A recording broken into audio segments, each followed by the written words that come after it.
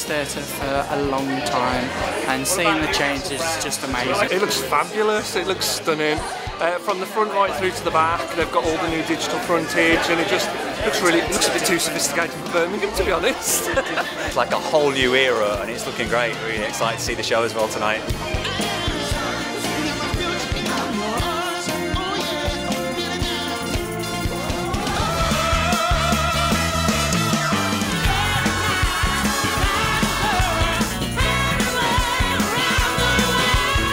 Oh, it's fab. I mean, to get all of those, those some of the best songs ever written, all crammed into one show, and we're only halfway through.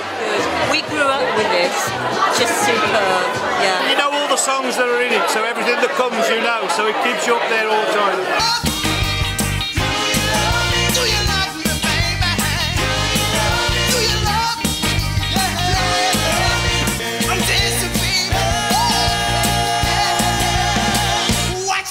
Absolutely loved it.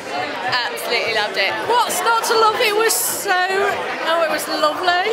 I just feel so happy. It's amazing. It was absolutely incredible. I just think it really brought like everything from Motown, all the history, all together. It was fabulous.